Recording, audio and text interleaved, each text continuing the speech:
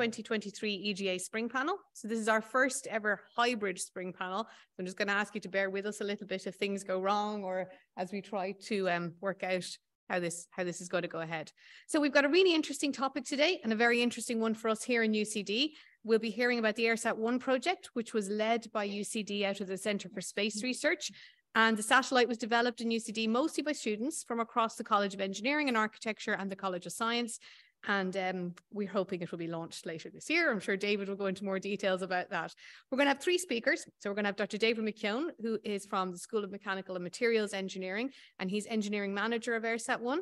We're going to have Dr. Joseph Thompson, who is over here, I think, who is chief engineer of EIRSAT 1 and a postdoctoral research here, researcher here in the School of Mechanical and Materials Engineering and Dr. Maeve Doyle, um, I think recently PhD in February. So she's as Miss Maeve Doyle on the, the document on my piece of paper, but she is now uh, Dr. Maeve Doyle. Congratulations. Who's the lead software engineer for EIRSAT 1. And she's based in the School of Physics here in UCD. We're going to have our three speakers first, and then we'll stop and we'll have a question and answer session. There is a roving mic, or I think a mic that will be thrown to you. So make sure that you catch it when it gets to you.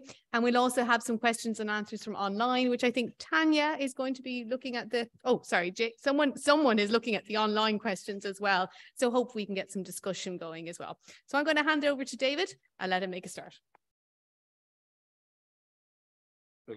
Thank you very much, Aoife. Um, so it's it's it's really great to be here um, because the big project we've been working on it for um, six years now, and it, yeah, it, it's about time we told the story in a, in a good way. Um, like that, we go. So Yes, I'm Dr. David McKeown, uh, assistant professor in the School of Mechanical Materials Engineering, um, and also this engineering manager of EIRSAT 1, so different hats. Um, so uh, this works. What have we been up to? So just personally, maybe you don't know what happens in space uh, in engineering or here in UCD. Um, these are projects I've been working on, uh, and some of them with Willie O'Connor, who's here as well, uh, going back to 2011.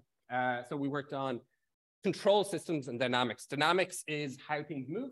I'm trying to describe that and do that mathematically and make models of that. Control systems is about making it move the way we want to.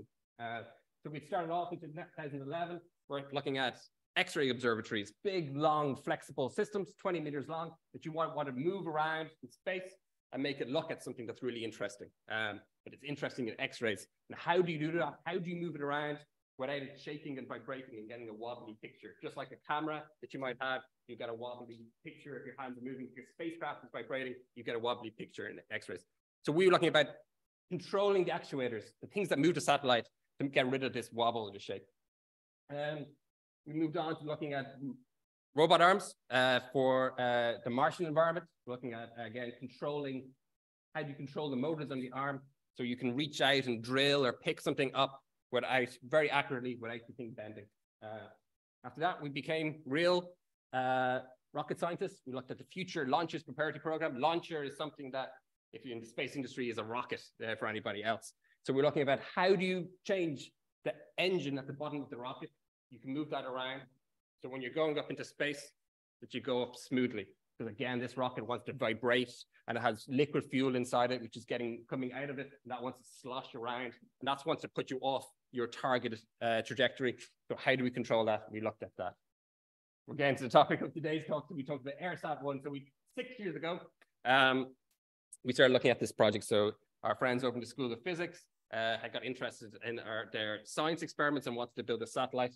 Um, and then we got involved in School of uh, College of Engineering. So I'm going to talk in detail about that. But we're also doing well more things in the future, but currently looking at some stuff with lunar dust, so dust on the moon, uh, how that gets into uh, spacesuit materials, uh, how it gets into the joints of robotic arms, and how it wears them down. Uh, so we're doing tests with that with a German aerospace company. Um, so there's a lot going on, and there's been a lot going on in physics as well, going back in science missions, going back to ESA and NASA. So there's a lot of heritage here in UCD that um, uh, maybe I'll get rid of that. That maybe you don't know about. Uh, I talk about this ESA, so it's European Space Agency funded projects. These are all the countries that are in the European Space Agency. Uh, we give money, our government gives money in, and then there's a geo return. We get that money back and it comes into projects uh, like EIRSAT and our Irish companies, and they fund the space uh, projects going on here. So lots of Europe, Canada as well. um, and again, lots of Irish companies, about 90 Irish companies working in, in the space. If you look at the side of this an Ariane 5 rocket, there's the Irish flag, proof that we're definitely part of the European Space Agency and definitely working on very interesting things that you might not know. But generally up to now, it's been parts of satellites or parts of rockets or parts or software of that. We hadn't gone and built something that was completely designed and tested and built and going to be operated uh, here in UCD. Uh, so that's our EIRSAT 1 project. That's a, a, render of it. We have some real pictures. It's built and ready to go uh, at the moment. But that's a CubeSat. Um, EIRSAT 1 is Irish, uh, Educational Irish Research Satellite 1. Uh, so it's, a, it's, kind of an acronym. Um, and that's because of some of the goals of this is one, we have three payloads that we're going to talk about. So we're doing science and engineering and technology demonstrations on it, but we're also building up the skills and uh, uh, the, the, the knowledge uh, within the colleges, but also in the students that leave the colleges and go out in, into industry. Uh, so it's been built by staff and students. And students, it's definitely plural. We've had about 50 students over the last six years come through. So generally at master's level or PhD level, so after you finish your undergrad, they come and, and started working uh, on the project. So it's hit the lives of, of, of many students uh, and, and for the better, I, I think. Um, how are we working out or what, what's the program that's running it? So it's part of something called ESA Education's Fly Your Satellite program. So there's a structure around it. So within European Space Agency, there's an education office and they uh, do these programs. So they say, we'll give you, if you build a CubeSat, we'll make sure you try to build it properly as in that we'll give you expert advice back, but we'll also make you follow all the milestones that a normal satellite will follow. And if you don't pass them, you're not launching. But if you do pass them all, we'll provide the launch at the end. So they procure and they give us the space on the rocket, uh, which will bring us up to space. Um, so as part of that program, it's impossible to get a team photo because it's been changing uh, all over the time. Um, but here's one of the more recent ones where we generally wore all our hoodies and, and looked quite good. Um, there's me, there's Joe and Maeve, uh, but there's so many members uh, of the team. Uh, so generally from mechanical engineering, generally from physics, um, and some from, we have people from computer science, electronic engineering, uh, maths uh, over the years as well. So it's a great collaboration across the college. Uh, go to back and said that EIRSAT is a CubeSat. What is a CubeSat? What's this idea that we want to standardize how we build satellites, especially small satellites, especially started off with, with university teams, but it's kind of wider uh, than that now. But if you build them in a standardized way, that'll make it cheaper. It'll mean that they can design the bits on the rockets to release these cheaper because you're not just a bespoke satellite every time that you're putting it up, which makes things longer, I think so. So the idea is that build it in units. Uh, so EIRSAT's a 2U unit, which means we're two units. Each unit is 10 by 10 centimeters. You can build them up into bigger satellites like 3U, 6U, 12U. Um, why do you build a satellite? You don't build it just to put it up there. You want to have uh, some payloads. You want to do some science or some engineering in there to have a reason for your satellite. Um, so we have three and, kind of one more as well, a technology demo. So we have our gamma ray module, GMOD. We have our EnBio module, EMOD. We have wave-based control, WBC. And what does your satellite make of? Well, you want to make your satellite, but you don't want to be crazy about it, right? So you buy some stuff off the shelf. You have commercial off the shelf. You don't make your own batteries. You don't make your own solar panels. You can if you want, but you'll spend years making your own batteries. So you try the bits that you can buy uh, and are reliable, you buy them, and then everything else you make yourself. Um, so a lot of CubeSat teams, especially university, would have one payload. We have three, uh, so we were quite ambitious uh, in, in, in, our uh, goals. Um, so looking in, this is, uh, again, the render of uh, EIRSAT without its solar panels on. Also, this is scale, this is scale model. That's exactly how big the satellite is. So people generally think it's smaller than they might imagine a satellite is. But there's a lot packed in. So what's packed in? Um, we have all these things. You've got computer, you have an onboard computer, which is doing your, you know, it's running an operating system, it's making decisions about how the satellite's running. You have batteries, which are keeping the charge and keeping everything's going. Those batteries are charged by the solar panels, which will be on the outside. You have things that control this uh, power system. Uh, you have communications, so you can talk back to Earth and also can receive signals from Earth up to the satellite to tell it to do something like send us data or we can update the software. Um, then we have our experiments and we'll go into detail, but that cube uh, up at the top here is our GMOD experiment. The checkers at the top is our EMOD experiment. The wave control, wave-based control when it's software, so we don't worry too much, uh, it doesn't have a, a mass. Um, and at the bottom, we have something called our antenna deployment module. And that's that fourth thing I was saying, our technology demo. Um, it's our antennas that fly out or hopefully don't fly out or off, but they, they spring out and allow us to communicate with the satellite. Uh, so it's a deployable mechanism. Uh, to talk about science, this is the thing, well, why, what does the satellite do? Well, one thing it does is detect gamma ray bursts. So gamma rays are very energetic events that happen in the universe. So when you have something like uh, a new star, a neutron star being bursted into the universe or black holes colliding, you have this massive energy that comes out, comes across the universe uh, to our satellite. But it's not, it's light, but it's not invisible light, it's in gamma ray frequency. Uh, so they're very bright for a very short amount of time. And our experiment, uh, GMOD, is picking up these and, and, and telling us uh, when they happen and the intensity. Uh, so here's some real hardware. I've been showing renders. Somewhere about in the top third, uh, there's this aluminium box. And inside that box is a scintillator. Uh, so scintillator is something that takes in gamma rays, the gamma rays that come from these bursts all across the universe into the box. Scintillator turns that into visible light. And then we have uh, sensors underneath that take that visible light and turn that into uh, electricity, something that we can count and, and make uh, uh, measurements with. Um, so that, that's our one experiment. See the guys looking at it on a, on a shaker there. Um, that's completely designed. It's been designed in the School of Physics uh, over multiple years before, and it's building on the basic research that would have been done there. Starts off as a computer model, designed the PCB, the electronics board, designed the casing, design, design all the electronics, and then try to characterize that and see how well it's going to perform. So you see this thing always oh, everything that we've done and put in the satellite, it's been analyzed, nothing's thrown together. It's been a lot of work in someone's PhD or multiple pe people's PhDs. Um, this is the real satellite again. Um, this is the top. I am just want to show EMOD. This is the, the black and white uh, squares. So uh, they're thermal coatings, basically. So they're um, made by Irish company EnBio, and they're really good at, at protecting satellites from getting too warm generally. So they're already on Solar Orbiter, which is a spacecraft by ESA and NASA. That's on its way, probably there now, uh, towards the sun. Uh, and the, it's made by an Irish company. So the, the sunscreen, the thing that's closest to the sun on the satellite is made in, in uh, Ireland. Uh, we have it on our uh, satellite to see how it's going to perform in low Earth orbit, which is where we're going uh, over a long period of time. You can see it's kind of isolated from the satellite in this, this, this reflective material, shiny material there, which is called MLI, multi-layer insulation it's kind of like the stuff that you, after you finish a marathon, they wrap you up with. So it's trying to isolate uh, the temperature there. Um, the last thing is, is uh, wave-based control or the last uh, payload. So when we get released, this has been released from the CubeSat coming at the International Space Station, we're going to get released from a rocket. The same kind of thing, it gets plopped out. It's like squeezing a, a tube of toothpaste or, uh, or like a jack in the box. It just kind of comes out and you're now in space. Um, and the first thing you do is when you come out, you might start tumbling, that you're twisting around one axis and you want to detumble so you can start communications. Uh, so how do you do that? so you need some sort of way to move your satellite around. And we don't have any propellant or thrusters or anything like that. Um, what we do have is magnet torquers. Uh, so within our solar panels, which is the solar panel you see at the top there, there's also coils or there, there's uh, traces of, of, of, copper basically that go around. If you have a coil and you put electricity through it, a current or voltage, uh, then you will turn it into a magnet. So you have an electromagnet. Our satellite is a magnet that we can control which faces of it, and there's one inside as well, which, which direction this magnetic field is going to be.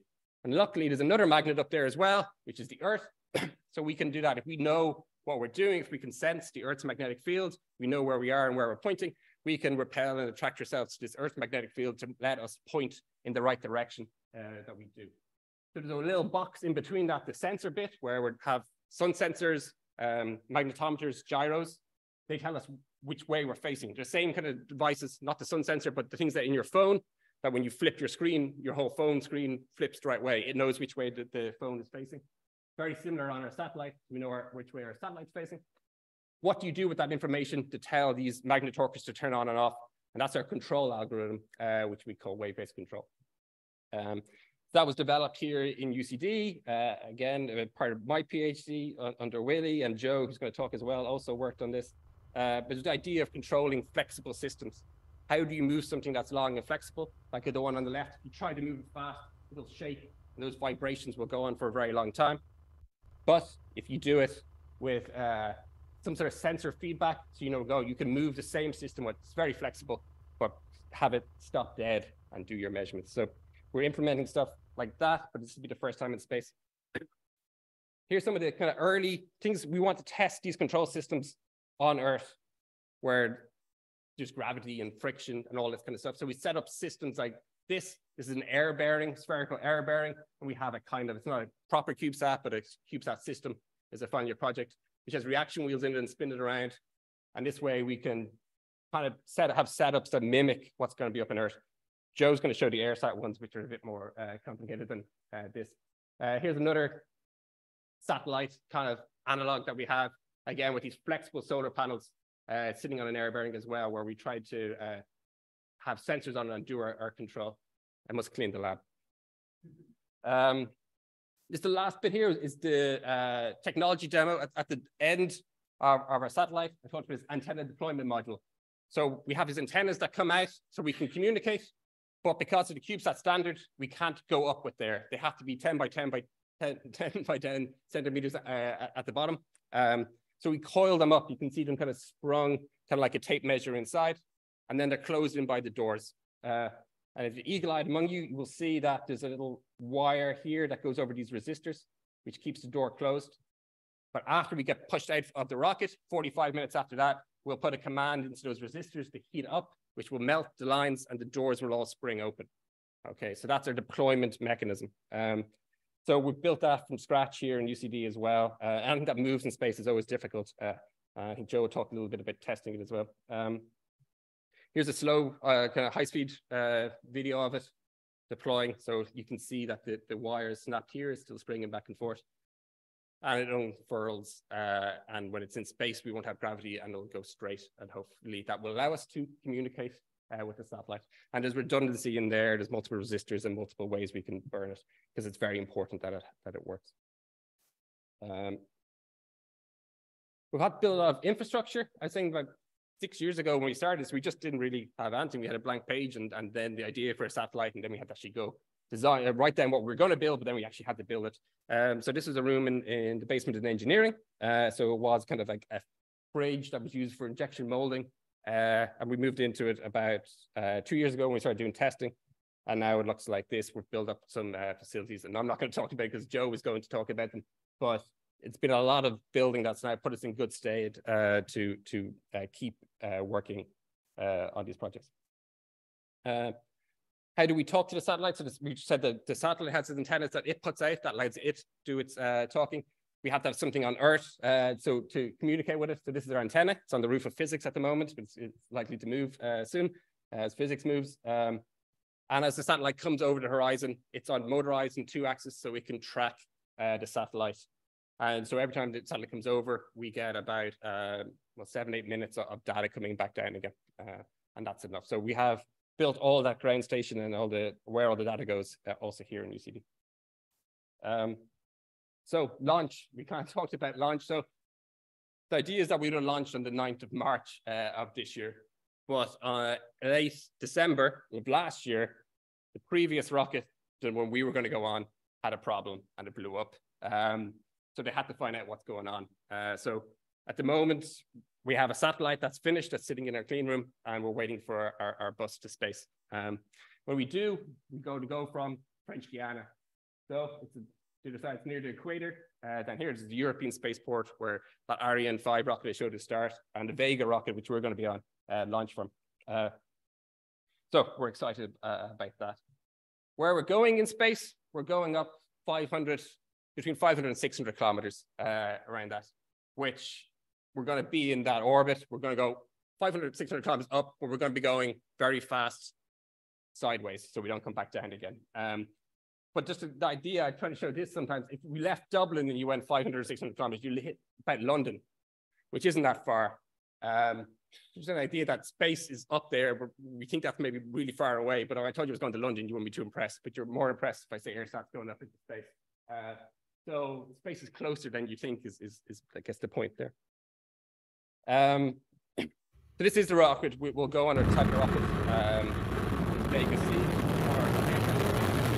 um, and it goes off. It's got just this is just videos of rockets going up. But um, powerful things, mainly fuel, but payloads. We're not the main payload on this.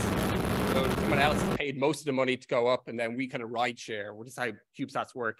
The extra space on the rockets we fit in there uh, and, and then work. So it's uh, like 2,200 kilonewtons of thrust, uh, which is about, um, what is that? About 200,000 guinea pigs if you were to lift them up. That's how much trust that you would require uh, for that.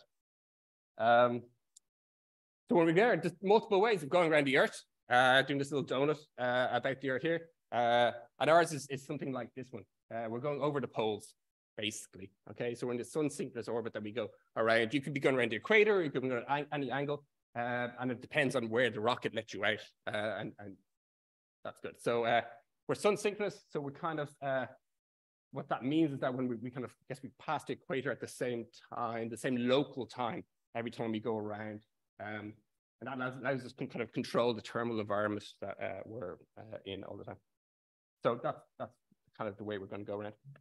Uh, that's the box it goes into. Um, so I said just jacking the box before it goes out. We're doing a, a fit check there. Um, so the goes into the box. The box was going to go to Czech Republic, and then from the Czech Republic, that box goes to French Guiana onto the rocket, and then from that box, it goes straight out into space.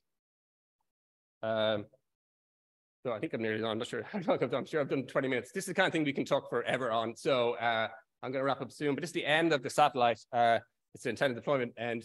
But we have a poem that was written by uh, junior cert uh, Jess school kids uh, that we went out during COVID and uh, with the uh, Museum of Literature Ireland and working with the English department here. And they wrote poems based on their kind of, I guess, feelings and understanding of their place in, in, in space. It's called Always Home. Then the poem was curated into, all their poems was kind of created into one poem, which was then laser etched and designed by Emer Boyle, the artist in residence uh, over in science. Uh, so we have that, and we have on the other side of that loads of names of, of the people that have helped us, and a lot of people have helped us uh, along the way. Um, I'm going to finish with, oh, I won't. Here we go. I'm going to finish with uh, this, which is just a time lapse of an assembly of, of, a, of the, the spacecraft. Um, so you can see what's inside, and how it's put together. Uh, you'll see, there was Joe there, he's coming later, but um, we don't assemble it too many times or disassemble it too many times. Uh, it, you, you put it together. In the background, you'll see all the paperwork.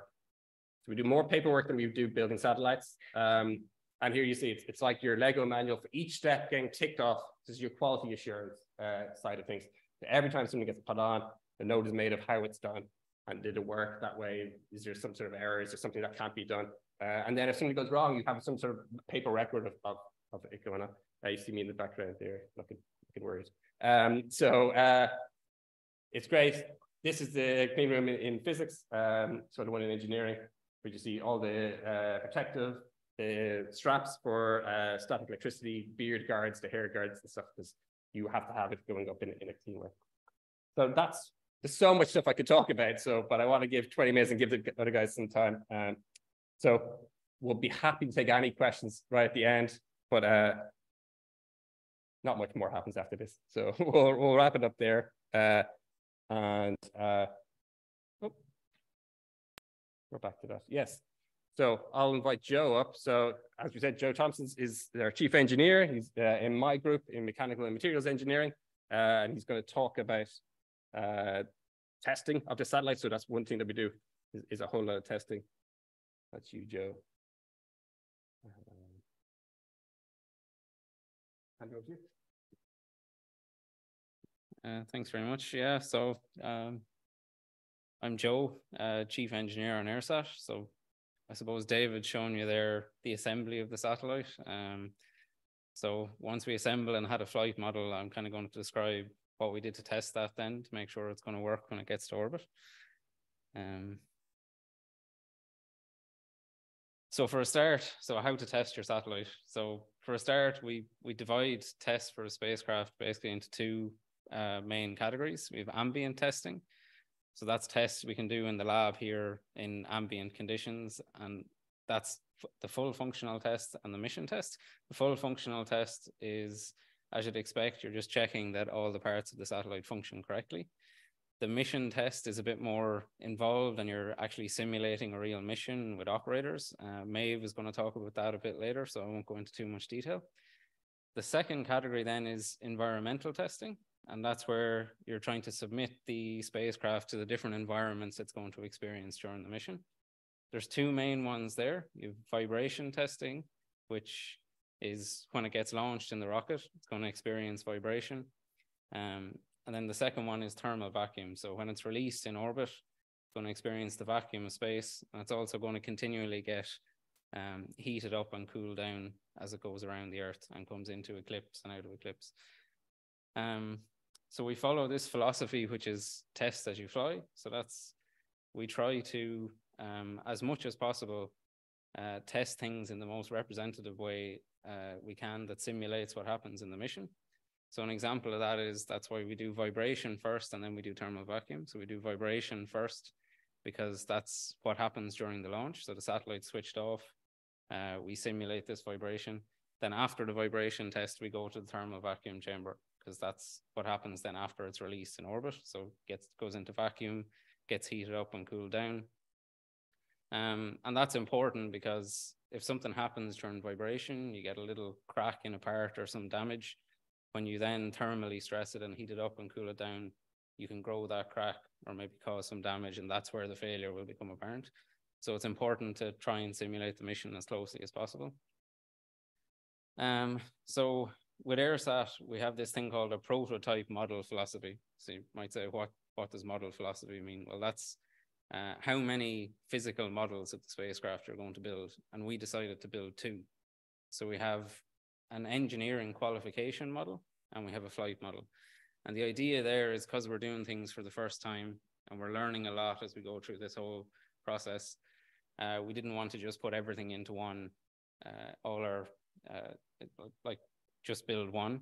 So we, we have an engineering qualification model. So we build a full satellite that's representative of the one we'll launch and we do qualification level tests. So they're really stringent tests and that proves that the satellite's going to survive the different uh, things we put it through.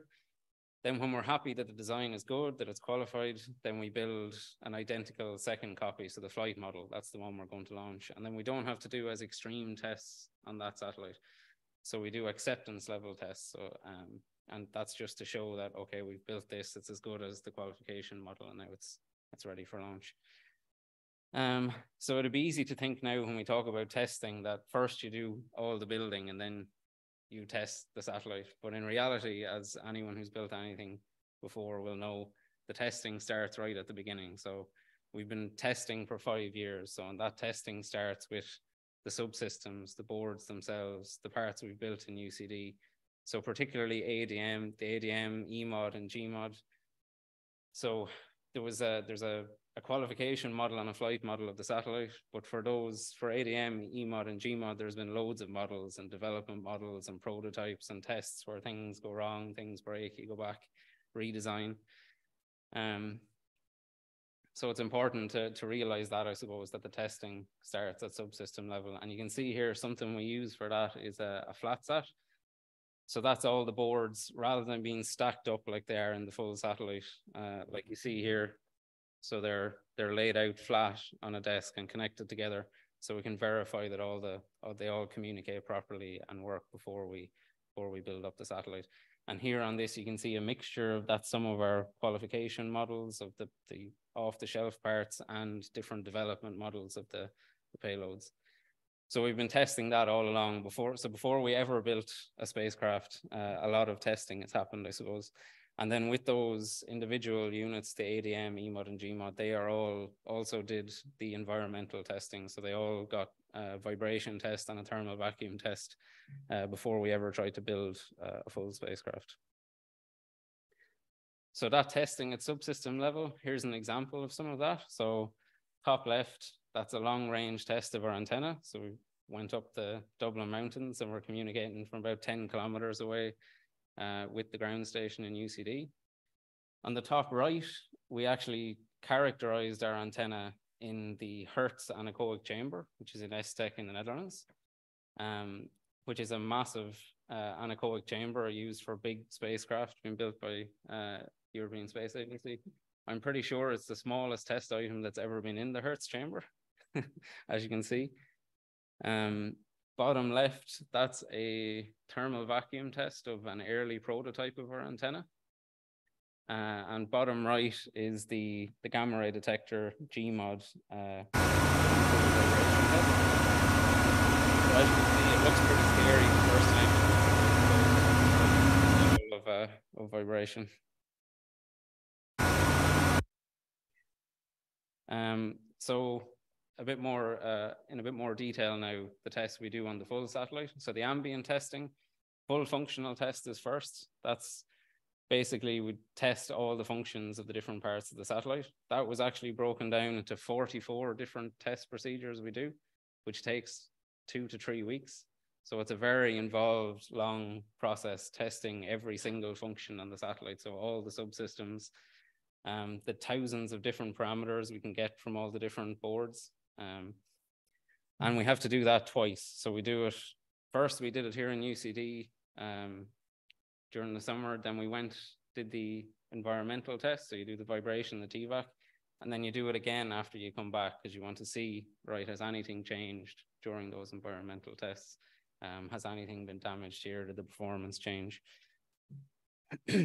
um, and this is a little video of one of our most important functional tests. So the first thing that has to happen after we're released in orbit, which is the antenna deployment. That's what we hope will happen about 45 minutes after we're released from, from the rocket. Um, and that's actually our secondary mechanism. So we have we have two methods to release the antenna. Uh, we have primary resistors and they release them uh, one at a time.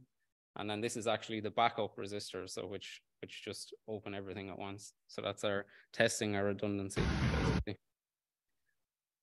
Um, one of the more interesting system level tests then, and something I've worked a lot on, and David showed the lab we've built in engineering is our ADCS testing setup. So ADCS is attitude determination and control system.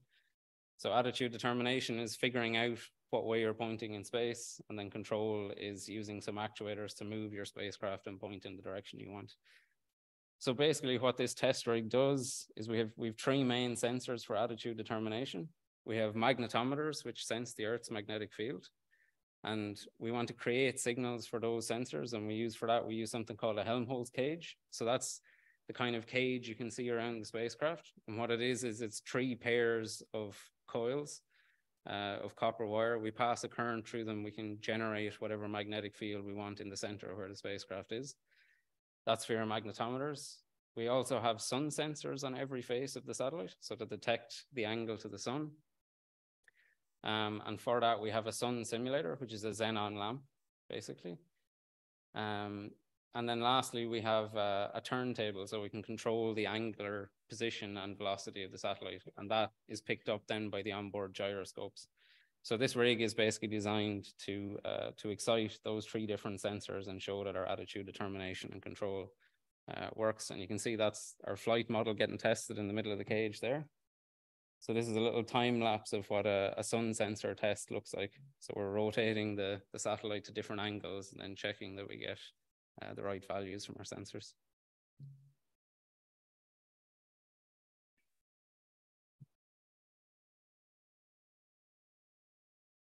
Okay, so on to the environmental testing then, the vibration and the TVAC.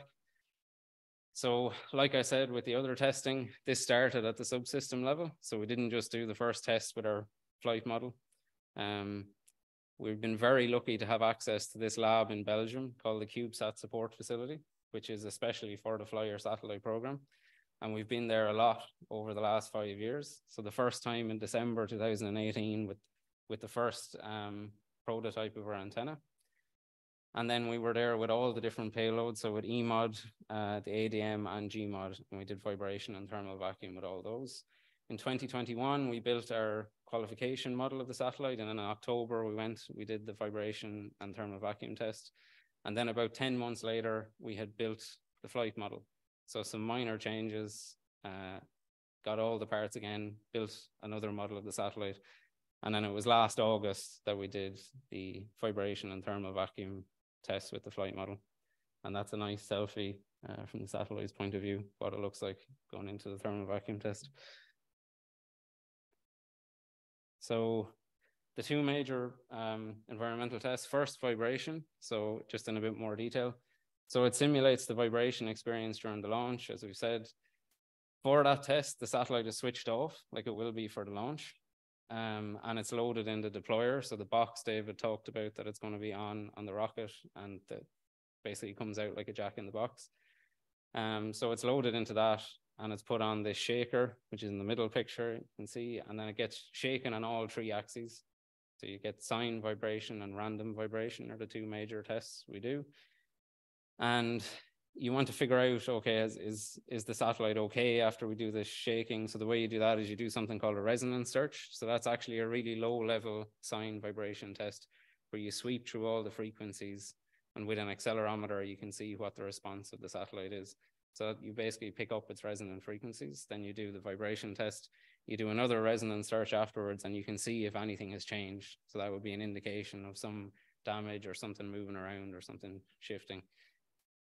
Um, and then as well, satellite switched off for the test, but beforehand, after we traveled to Belgium, we did a reduced functional test. So not the three weeks of testing, but uh, just the major functions of the satellite. So we do that before and after the vibration uh, to check that nothing has, has changed.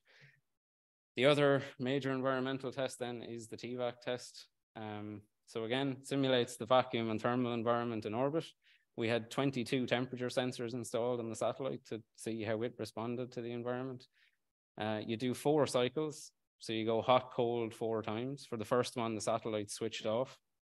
That's your non-operational cycle. So you can go to slightly higher and lower temperatures. Then you do three operational cycles. So that's with the satellite switched on. You go to hot, you stay there, you let all the components get to that temperature.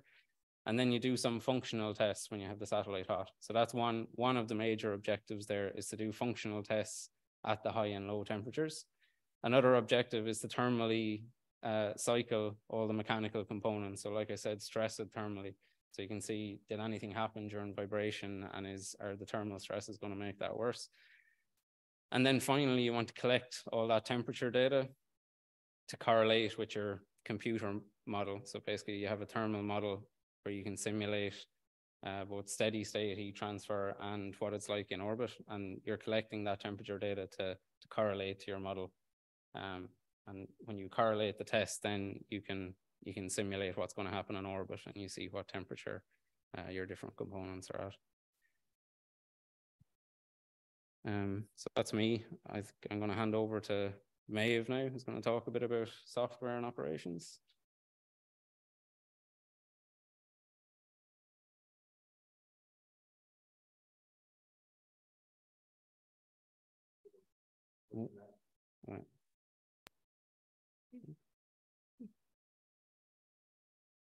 Hi all. So um, yeah, uh, heard a lot about the hardware of spacecraft. I hope provide some insight into software and operations. I recently finished my PhD um, with the School of Physics that was uh, focused on this. Sorry, that was uh, focused on my work with EIRSAT One, and I'm now on the team as flight software and operations scientist, where I'm helping prepare the operations team for mission control of EIRSAT One on orbit uh, by interfacing with the software I developed during my PhD. These buttons. Uh, yeah, so EIRSAT One's flight software can kind of be divided into three parts. So the first is what we could call platform software, and this is flight ready software that has been pr provided to us uh, with our commercial off-the-shelf components by Clyde Space. So um, this is like firmware and software that run on the battery, the EPS, um, ADCS and our transceiver um, components. Um, so they're ready for us to use and we don't need to develop these in-house. We then have two other parts of the software, which we do have to develop in-house. The first has been our payload software. So this is software to run on MSP, Texas Instruments MSP uh, 430s on our GMOD and EMOD uh, motherboards. Um, and then the next software, which was more the focus of my PhD, is uh, the main flight software, which we had to develop in house to run on our main onboard computer or OBC. So EIRSAT One's OBC is a commercial off-the-shelf component from AAC Clyde Space. It incorporates a microsemi SmartFusion2 system on chip and has an ARM Cortex M3 processor. We're dealing with um, four gigabytes of flash memory, eight megabytes of MRAM. Um, our main communication buses on board EIRSAT 1 that give the OBC the ability to communicate with our other subsystems on board our I2C interfaces. And then we also have serial interfaces for our payloads. The job of the software then that runs on this OBC is uh, interfacing with the spacecraft subsystems and controlling the behavior of the system as a whole. So bringing all those different hardware and software parts together um, to allow the mission to function during the different operational phases of the mission. So to just give you an idea of what these operational phases are and what flight operations actually looks like. So first we're deployed into orbit. EIRSAT-1 is off during this time, so the software doesn't have any role here. Um, the OBC is powered down, but when we're deployed into orbit, these uh, separation switches are released that allow EIRSAT-1 to power on. And the software on the OBC, its main job first is the separation sequence. So what the separation sequence is responsible for doing is a 45 minute wait timer. Um, this is a requirement on us um, the, at the end of the 45 minute wait timer, we deploy EIRSAT-1's um, dipole antenna elements and we start RF transmissions. It's a requirement on us because we have to make sure we're far enough away from the thing that deployed us and also anything else that came out with us that we don't deploy our antenna elements and hit anything, I suppose. Um, so this is what separation sequence must do. Um, once this happens, we can make uh, communication, two-way communication with EIRSAT-1, what we call initial acquisition of signal or AOS. Uh, we hope to make this two-way communications uh, with the ground station that's currently situated on the roof of the School of Physics at UCD. Um, but EIRSAT-1 will start beaconing after these 45 minutes. So anyone from the amateur radio community worldwide might hear EIRSAT before we do and be able to report its status to us. That would be very nice. Um, for it to come over uh, Ireland, though, in UCD, it could take hours. That's the initial phase of the mission. We then move on to post-launch health checks and commissioning. So this is where the software is in a pretty um, idle or stable state, but we command it to give us information and do these different functional checks almost on orbit to make sure all of our spacecraft subsystems are healthy following launch and are ready to start nominal operations. So nominal operations is hopefully years of us collecting data, um, running our experiments, running GMOD and EMOD, and uh, periodically going into this mode called WBC mode, where we run our um, software-based attitude control experiment. So that's hopefully what flight operations primarily looks like. But in addition to this, the role of this software and the role of our operators on the ground is also to deal with this uh, aspect of flight operations, which is off nominal operations. So space is extremely harsh environment to operate in, first of all. But then once we launch it, we can't access the spacecraft in the way that we do on ground with normal computers. We need to make sure that it's robust to faults. The software can um, bring itself back autonomously into a safe state um, and allow us to command it to figure out what happened through um, RF communications and then command it back into a nominal um, state. so the flight software has been developed with the aid of a flight software development kit from a company called Bright Ascension.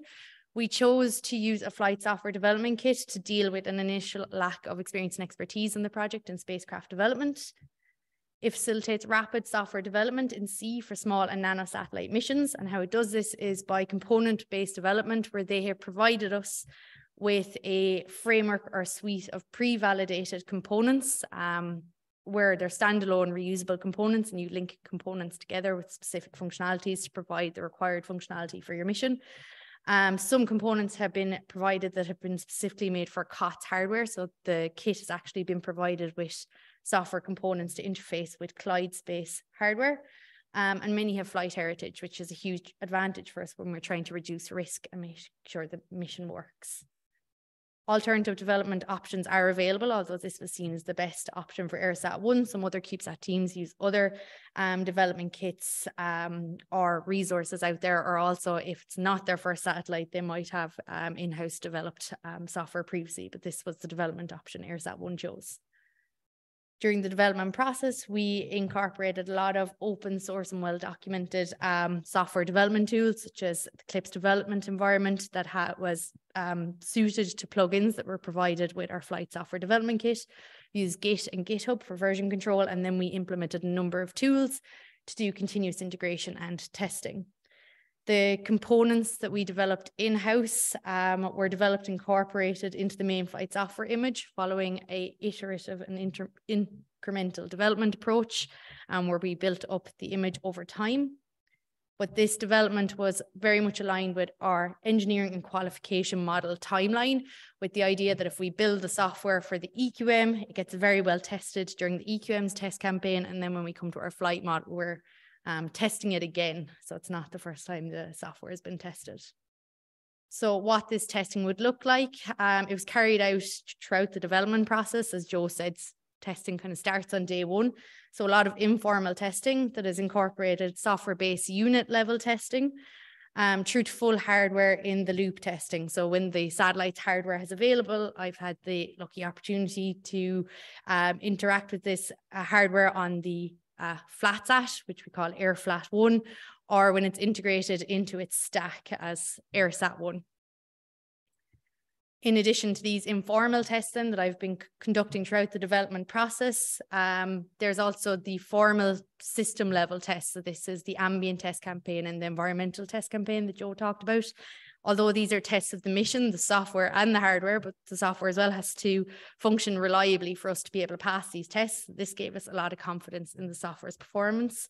The first being the functional testing, which were carried out at ambient conditions here in UCD in our clean rooms in physics and engineering, and during and around environmental testing at the CubeSat support facility. So that's us in front of um, the TVAC chamber. Well, that's me on the laptop screen anyway, in front of the TVAC chamber in the CubeSat support facility with EIRSAT inside. And then mission testing. So this was also a key part of my PhD, prepping this anyway. Mission testing is a mission simulation, about a month long mission simulation. So a very long test where we're continuously conducting the test as if EIRSAT 1 has already launched and is in orbit. EIRSAT 1 was situated in the clean room in engineering here, and we pretended it was in orbit. No one was allowed into the clean room, no one was allowed to see into the clean room, bar a handful of operators who were test operators. And then we had our mission control team based in physics remotely operating the satellite and um, carrying out a mission simulation. And then our lovely test support operators would inject faults into the test in the engineering clean room, and our operators, our mission control team, would have to handle it over in physics. So we've done that both on the EQM and FM models of EIRSAT 1 for month long testing. In addition to verifying the software and the hardware's performance, a key benefit of this test is that it has allowed us allowed us to um, get a very complete kind of data set, um, baseline data set for what on orbit uh, data sets will look like when we downlink them um, on the ground during mission operations. Yeah, so that's all for me. I think I don't know if we have a close out, but I know that we're all here for questions if anyone has any. Yes,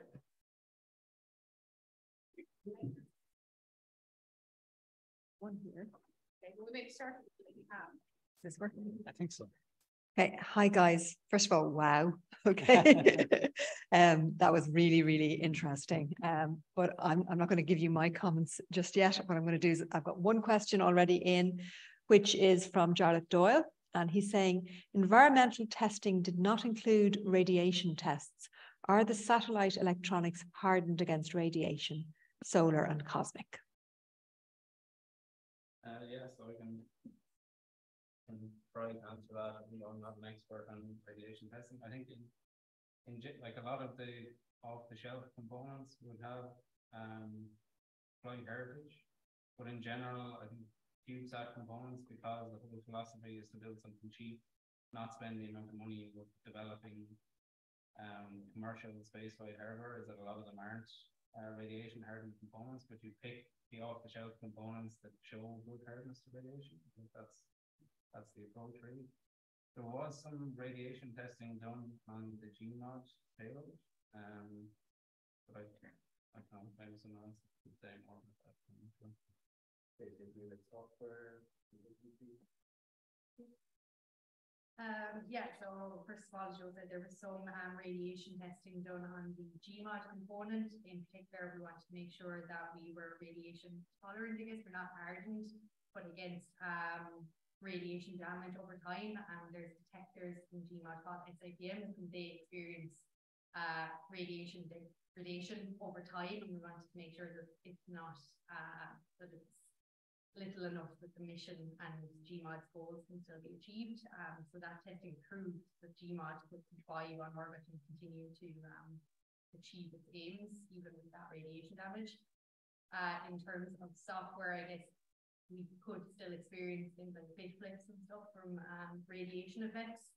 Uh, the OBC has some radiation tolerance building, uh, error detection and correction mechanisms um, to make sure that uh, being read from memory are correct and haven't experienced bit flips. But uh, the software is hopefully robust to reboots and everything like that. So. Any questions from here?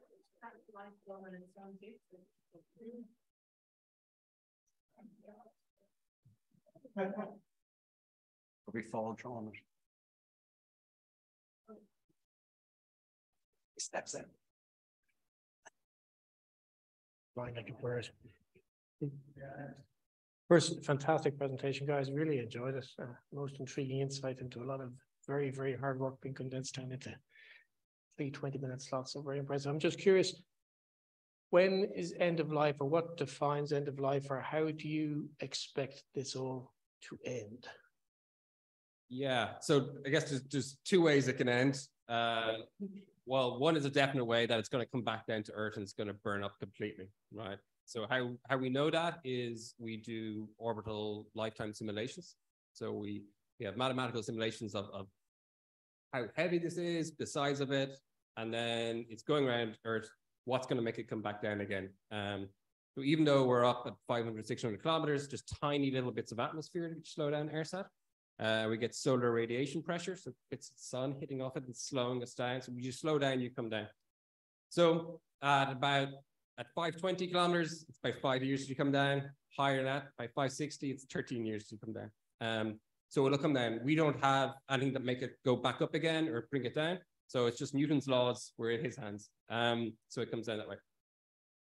In terms of mission lifetime, will EIRSAT last 13 years? That's a very hard question to answer. Um, like you say, this is, you know, it has the, the guts of a you know a computer with batteries and laptop. And if you turn your laptop on now and then in 13 years time, come back to it, you think it's going to be still on.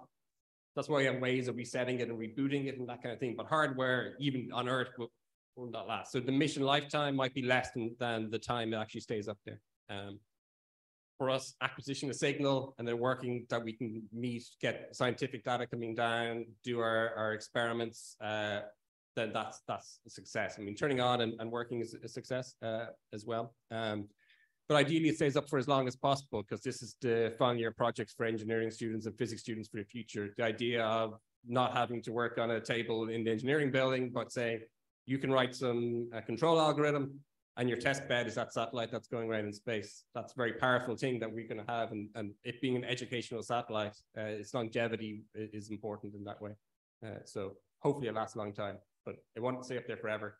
And the simulations about, I said it burns up. That's another something that we do. Um, so we do, um, there, there's models uh, provided by European Space Agency where you, you work out, tell it the materials, you tell it the size, and it tells you if it's going to burn up or not, or how much is going to come back down again. And luckily for us, apart from we don't get to keep anything, luckily for us, nothing comes back down again. I have a question that comes on from that. Just how did you choose that orbital path? Was it um, and then I hear at that level it's quite busy in terms of other satellites. How what's the probability of hitting another satellite? Yeah, well, we're not the main customer on the rocket. So you go up and, and you you kind of we requested so you do your analysis and you say uh, we can survive in this thermal environment and we can survive for this long. We want to be up there for a certain amount of time, and that says kind of what orbit you want to be in. But if you say that Vega rocket that's going up, it's the big nose cone bit at the top.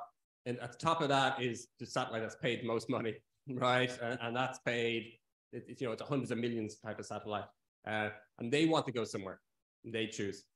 Then you can get secondary uh, and tertiary burns, something like that. So they'll go, it'll put that satellite into orbit, and it might burn again to put you into a different orbit if they're nice. Um, and that, so in the end, we get options of, of where to go. So you can go now, uh, and pick this orbit, or you can wait another year and there might be a better orbit for you, and you got to make a, a, balance of that. But we don't call the shots uh, on on that. Um, so it's good enough uh, for us. Uh, uh, so yeah, we're, we're happy. Yeah, so that's a that's I, I wish I, could tell you a very clear answer to it. Um, I said we were ready to go this January to to put it and, and send it off for launch in, in March. Uh, like I say, it's it's delayed. ESA hold the cards close to your chest uh, when it's coming out, uh, but what we're told is that they're going to try to launch another Vega rocket uh, over the summer and then another one at the end of the year. So at the moment, that's what we're playing around with, and, and we're trying to get. We want to launch as soon as possible because we're ready, uh, but we're just going to have to wait uh, until uh, we get our ticket.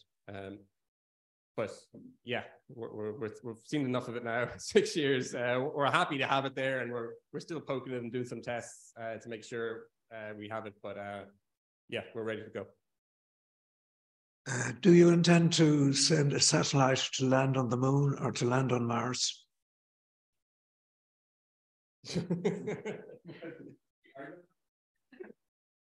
not in the pipeline at the moment.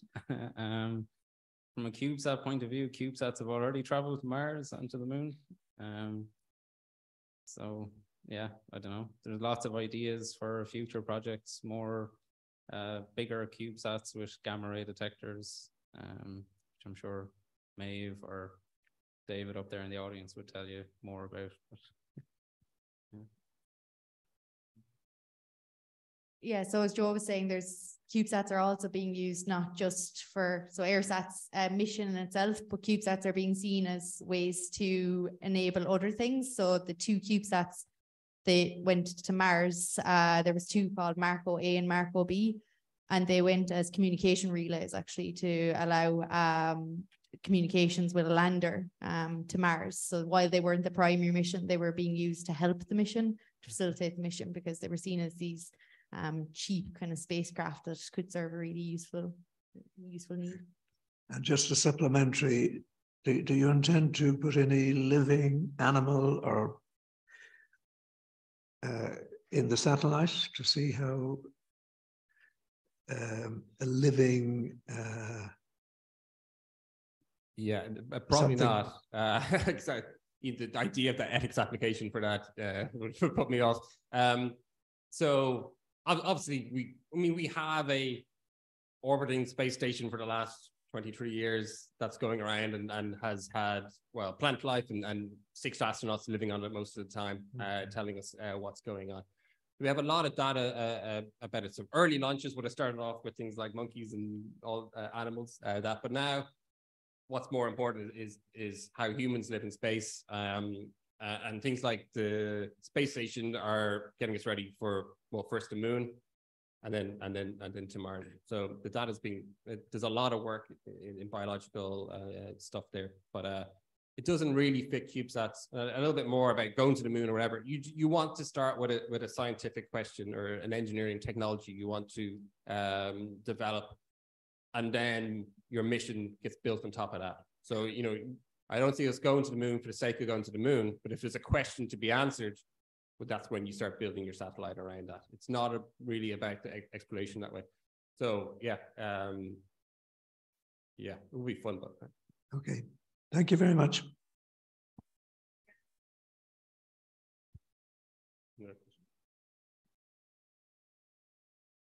If uh, if uh, the next rocket didn't make it, um, would you go through the process of building the exact same satellite, or would you try for something bigger? Like the 12U? I think it was. Yeah, well, I suppose the, the first thing you think of is, oh, we do have a copy, which is the engineering model. So one thing you could possibly do is use some parts there. I mean, it doesn't have all the same parts as the flight model. For instance, our qualification model has solar panels that just have little aluminium panels instead of real solar cells so that they're just representative of the proper mass. So we'd have to buy some new components, but we do have uh, an engineering model which we could probably reuse a lot of components from if we wanted to rebuild EIRSAT. Um, of course, we'd love to build bigger satellites as well. You have to find the funding to do that. And that's something a lot of people are working on in the background as well. Or you could make smaller satellites because why, why necessarily make a bigger one? That's why everyone wants to seem to go. But you can you can do useful science on an even smaller platform than a one you um, CubeSat. So, yeah, lots of ideas for future projects. So we do. Uh, we have, yeah, as EIRSAT stops, we, we have more projects coming on. Uh, so uh, myself and Sheila McBreen Physics have a 6U uh, in, in the in the things so three times bigger than EIRSAT, which which has six detectors, six kind of GMOD type things. And that's the idea. But again, as Joe says, bigger isn't always better. It's only if you want you have stuff to fill the space. Um, if you can fit your your answer to your question into a smaller thing, you're, you're looking at a at a cheaper launch and a and a, maybe you can build multiple of them, have a constellation, or and that's better. You build in your redundancy that way by uh, like Starlink and all these. You you you launch ten of them and six of them work, and that's great. And instead of putting all your eggs in one basket. Um, yeah, so it's not a natural thing to go, oh, we're going to build a 2U and then a 6U, and then we're going to have, you know, something the size of this room or whatever. You know, it, it, it's uh, it's not really about size any anymore.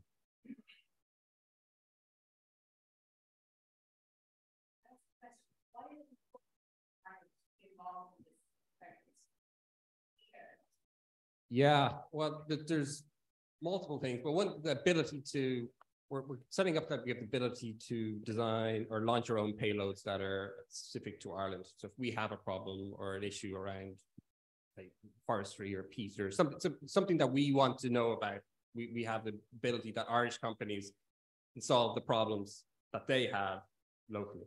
Um, economically, space is, just a, a, massively growing industry um, that has kind of changed from the world of having to be, you know, America or Russia or China. But you have a lot of small countries building up their space sectors um, with, with, great success. Um, so I, talked a little bit about the European Space Agency that we put in money and it comes back to us. Uh, that's just kind of geo return. But it, what happens when it comes back to the contracts uh, in Irish companies they go and it's generally a multiplier of about four to six on that. So we're, we're building stuff in Ireland and then exporting it and bringing in four times, six times the money back into our economy. Um, and the space economy is going to be in 2040 about 1 trillion euro. It's kind of equivalent to tourism kind of thing. So we either now decide that we want to educate our students and build, have the people who are going to build companies when the time is, is right now, or we don't and we missed the boat. Um, so there's uh there's a yeah there's a good time now for Ireland to invest in it. It can seem like that's a funny thing to be putting money into space when you could be putting it into housing or something like that. But it's it's it's the long term economic gain for the country that allows us to put money into education and, and space. So um and we need the people in, in the university. Our space companies are doing great stuff outside, but the space companies to grow need great students uh, that, that are that are coming out of, of places like UCD. So the more we do here at the lower level stuff is going to feed in to and build up our economy. Just hello. Um, to what extent did you work with like suppliers and other companies within Ireland on the build? Yeah, so we had just multiple parts of the satellite are archiving. So we have uh, our GPS antenna, uh, that's on no model, a GPS antenna on the side comes from Taoglas. The experiment, the black and white uh, coupons at, at, the top, they're EnBio, another Irish company. Um, we have Réaltra Space, uh, do our, produce our PCBs. Uh, so they're a space company that built the cameras on the James Webb telescope or, or, or that, that, we saw the James Webb, James Webb telescope uh, disappearing. Um, we have uh, we've had a lot of support from just Irish companies around manufacturing and and uh, building parts uh, of the satellite. Uh, the uh, sensor for the GMOD, the uh, photon multipliers. No, yes, SiPMs. Yeah, yeah. SensL, which was a company, it's been bought now, but it's down in Cork. So there's already Irish industrial payloads scattered along the the satellite and that's kind of obviously we have that and and more coming in the pipeline of, of working with industry uh, when that so we're we're kind of meeting the industry needs that they have questions they want answered but they don't have the experience in building satellites or they don't want to go through five six years uh, to get there so uh, the other follow-on project that we have already in space is around that the idea of, of speeding up development of, of CubeSats uh, so around modeling them in, in called uh, model-based systems engineering. So how do you software describe the whole satellite so you can answer the questions quickly without building it? Uh, so if you want a satellite, uh, how do you quickly know which type of satellite you want to build? Um, and you might have heard, of, I think, of digital twinning, where you have your physical satellite, but you also have your software satellite, uh, and you can do tests with that. Uh, so we have ongoing work uh, going in that. Um, but coming uh, ho hopefully the end of the year, also, yeah, a, a good few more Irish industry uh, uh, working with us on, on, on future satellites. Thank you. Thanks.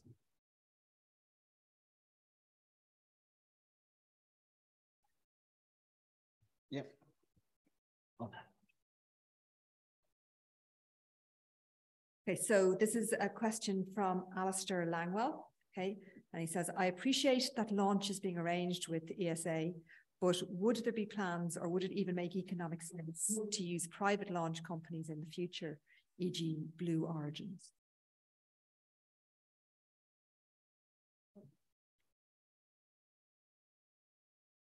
Uh, yeah, certainly. Obviously, in this, because of the program we're on, we're and the launch is being provided by ESA. This time, we're we're locked into going on a European rocket. Um, but yeah, certainly we'd be open to all di the different launch opportunities uh, with private space companies, SpaceX launching an awful lot of CubeSats. Um, yeah you can it's it's a good point. Uh, and if you have the ability to use multiple launch providers, then I think answer to a question one of the early ones about orbit and what you can pick, that widens your choice of orbit. So the European launchers are launching, well, at the moment twice a year, but maybe four, four or six times a year. If if SpaceX is going or Rocket Lab is going to different orbits, then you you have more choice about what's what's going on. Um, and certainly if you're paying for the launch, then you're, you're trying to get the best price. Um, so it's, it's, usually this price between reliability. If the rocket hasn't gone too much or has had failures, you might get it for cheaper. But European rockets have, have generally been uh, quite uh, reliable. Just a question then on the manufacturing of the CubeSats. You said it took about five years to get to where you are now. Did you, during that process, work out better ways of manufacturing? Would you intend to get it down to you know, the testing in particular was something that really struck a chord as far as how long it took.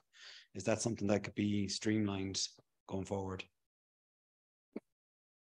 Yeah, so I suppose for us, um, we say that one to five years to build or develop, but um, a lot of that time was learning, um, was us figuring it out uh, developing the subsystems at unit level, testing them, finding out something wasn't necessarily robust to the vibration campaign, redesigning, retesting. So the time lapses that we showed of the actual build, EIRSAT is built in two, three days. The actual build process is quite short. Um, so if you are building multiple spacecraft or more spacecraft down the line that are similar to the one that you've already built, the next ones that come along will be much quicker and uh, yeah they can be developed in a much shorter time frame now if you change the design a lot obviously you have to go through some of that development and test process again. But i do think a lot of um EIRSAT's timeline has been down to students gaining knowledge um, taking the time to kind of tackle the learning curve that is ireland's first satellite. And hopefully yeah hopefully now we can bring that forward into the next missions. Um, yeah, I, would say the same thing. Uh, I think it took five years because we're doing it for the first time and learning an awful lot. Um, I think it, what David said about our ongoing projects, model-based systems engineering, these are they came about because we're thinking about right, how can you develop these faster? Um, how can you model them better uh, on with computer simulations and do the analysis and quickly update the analysis and check if I want to change this parameter here, can I do that? I think the problem with a satellite, a complex system like that is it's very hard to to test it until you have the full thing built, and that's where you run into a lot of problems. So managing that whole systems engineering and being able to automate as much as possible and automate your analyses, that's kind of what we're working on now at the moment, and that'll make the development a, a lot faster, as well as all we've learned over the last five years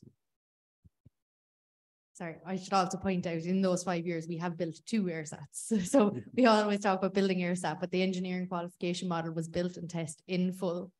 And then the FM was built and test in full. So we have gone through two full spacecraft at this stage.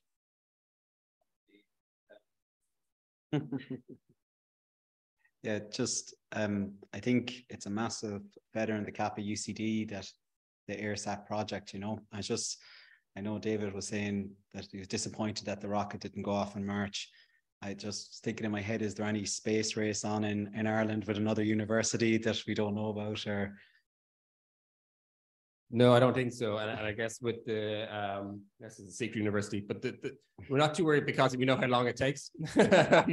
so uh, it, one's not going to pop up uh, uh, that quick. But you know, it, would be great to see the more space that's happening in Ireland, the better in general. Um, so uh, hopefully people will will, will see it, uh, the project and and the success, and and, and even I said, if it never turns on, it's a success in terms of the educational value. Um, uh, that we've gotten. But uh, no, we haven't in that. Wales were trying to launch their first satellite there, and it blew up on the on the way up. So, but uh, every every other EU country has has launched a satellite. Uh, so we're we're we're definitely overdue um, for our one. But uh, no, we're building a lot, and and I. Susan started as as we have C-Space, the Center for Space Research in UCD, which which goes broader than the CubeSat uh, uh, things, so material science, astrophysics, ground-based astronomy. Um, so there's a there's a hub of, of stuff happening. EIRSAT's the most visible thing, but uh, in UCD, it, there's a lot uh, of space.